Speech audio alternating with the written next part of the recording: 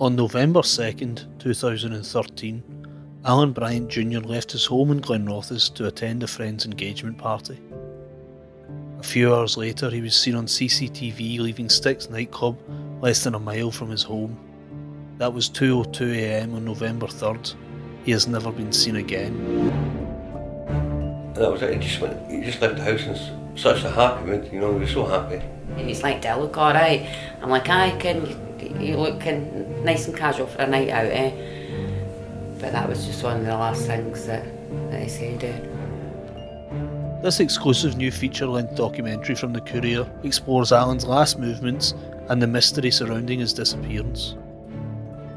A Short Walk Home The Disappearance of Allan Bryant Jr. Watch online at the Courier from Sunday, May 29th at 8pm.